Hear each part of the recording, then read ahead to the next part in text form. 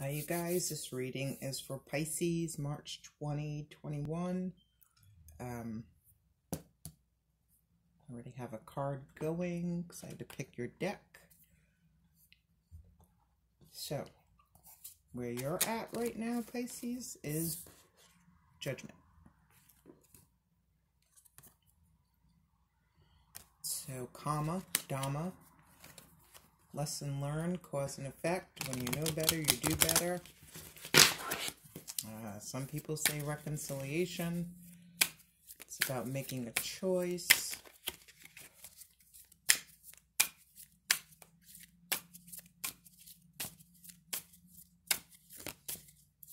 Pisces, March 2021. What is going on in Pisces life? March 2021.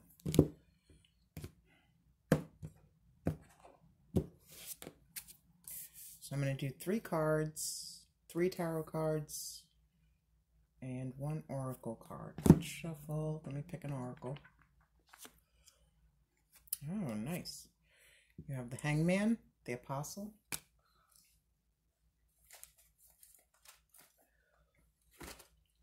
In this deck, 12th Arcanum implies sacrifices, sufferings, struggles.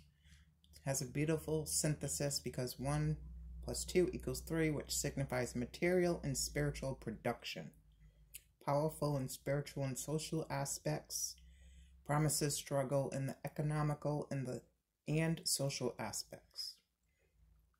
Um, forecasting guarantees contrarieties, anguish, downfalls, material loss in some conditions of life, and profit in others presentiments which enliven, and presentiments which discourage. So we have the hangman, judgment. Excuse me. I just shuffled these. All right. Two more cards for Pisces. Judgment, Ace of Wands, and the Page of Cups. So, if somebody is not trying to come in with new energy and reconcile in an apology, or you doing that to somebody else, maybe they've made their decision, they're done hanging around waiting to make a decision. Um, the trumpet is blown, offer made, somebody bringing a cup of fish.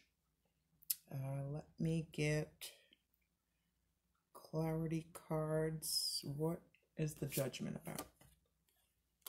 Eight of Wands, so there'll be some communication. Maybe about a decision you have previously made, which requires um, an action. What is the Ace of Wands about? Five of Cups. So,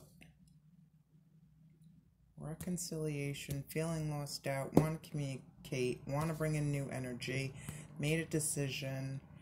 Somebody's coming in with some small loving talk. And what is the Page of Cups about, please? Four of Cups. So you go from the four, the five to the four. So somebody feels um, like they lost something, and they go to make the offer, but then it gets rejected, and you go back to the Five of Cups. Regret, grief, and loss. Uh, let's see if we can get one song. Enigma, Return to Innocence.